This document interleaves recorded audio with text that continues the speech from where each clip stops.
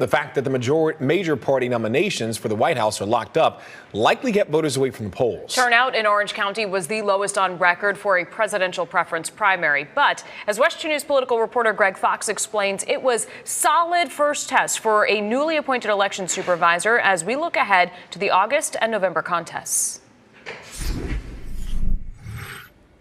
The last ballots have been cast. Equipment is being brought back along with signs to election headquarters, wrapping up what could be the lowest turnout election of this kind ever.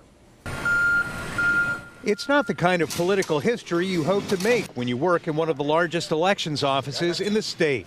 But the heads of the two major political parties in Orange County suspected that with the nominations for the White House already set before the Sunshine State voted, low turnout was not surprising.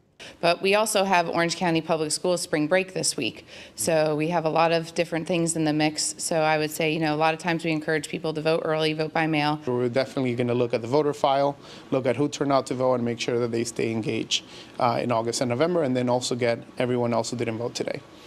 Local elections felt the fallout from just an 18.5% turnout, despite having six cities with 10 mayor and commission races.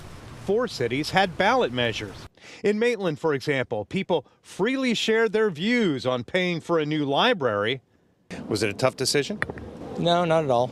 Uh, it's needed, needed for the community for sure.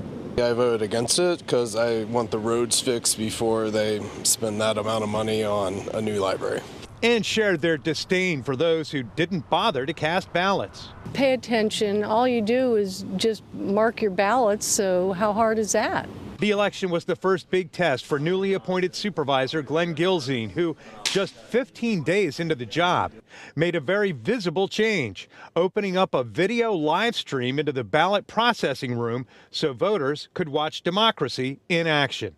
Orange County is the first ever county in the entire state of Florida to offer a live streaming feature. So that is the level of um, change. So I would say it's not really a change, it's more of an enhancement. We asked Supervisor Gilzean if he's considering running for election to the post of Supervisor of Elections. He told us he has not yet made that decision. In Orange County, Greg Fox, WESH 2 News. The Orange County Elections Office budgeted roughly $1.4 million for today's election with just more than 54,000 votes. That works out to nearly $27 per ballot cast.